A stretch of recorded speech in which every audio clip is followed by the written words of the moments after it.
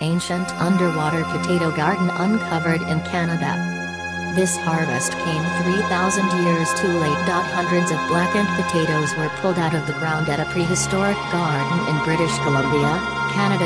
Dating back to 3,800 years before the present, the garden was once underwater, in an ecologically rich wetland and it shows signs of sophisticated engineering techniques used to control the flow of water to more efficiently grow wild Wapato tubers, also known as Indian potatoes. The 25 most mysterious archaeological finds on Earth archaeologists led by Tanja Hoffmann of the Katzie Development Limited Partnership and Simon Fraser University in British Columbia uncovered the garden during roadwork on Katzie First Nation territory just east of Vancouver, near the Fraser River.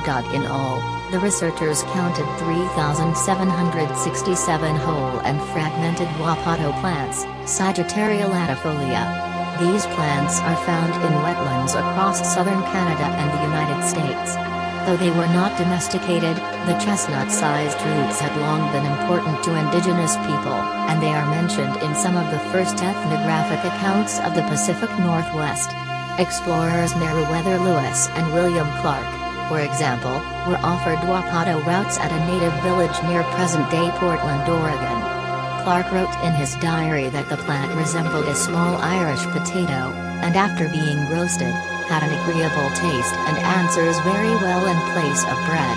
The ancient tubers that were found in British Columbia had turned dark brown to black in color, and some still had their starchy insides preserved. The garden had been covered in tightly packed, uniformly sized rocks, leading the researchers to conclude that this was a man-made deposit.